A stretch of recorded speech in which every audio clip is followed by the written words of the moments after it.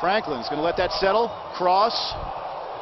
Soares got his feet right, but couldn't get the clearance away. Juninho will sting a shot into the back of the net.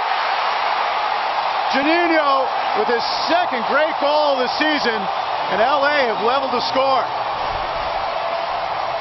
Well, you could feel that building. You just could tell the Revolution couldn't hold on all night, Brad. And there it is, just not enough on a clearance from AJ Soares. They just couldn't get it. And Juninho, who was robbed earlier, just blisters a shot past Matt Reis.